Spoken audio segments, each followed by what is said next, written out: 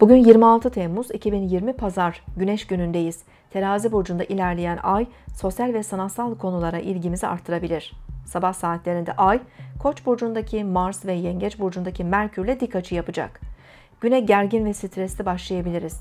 Yakın çevremiz ve aile üyeleriyle fikir ayrılıkları ve bazı anlaşmazlıklar yaşayabiliriz. Duygu ve dürtülerimizi kontrol edip diplomatik davranmakta fayda var kaza ve sakarlıklara da açık olabileceğimiz sabah saatlerinde ulaşım ve trafikte de dikkatli olmalı, dürtüsel ve sabırsız davranmamaya çalışmalıyız. Terazi burcundaki ay öğle saatlerinde ikizler burcundaki Venüs'te üçgen görünüm yapacak. Gerginliğin azalacağı, duygu ve düşüncelerimizi iyi ifade edebileceğimiz öğle saatlerinde iş ve özel ilişkilerimizde de başarılı olabiliriz.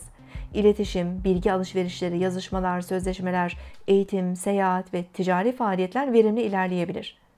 Akşam saatlerinde ise Ay, Oğlak Burcu'ndaki Jüpiter ve Plüton'la dik açı yapacak. Duygusal beklentilerimizin artabileceği bu saatlerde abartılı tavırlara ve manipülatif durumlara açık olabiliriz. Daha dengeli ve sağduyulu olmakta fayda var.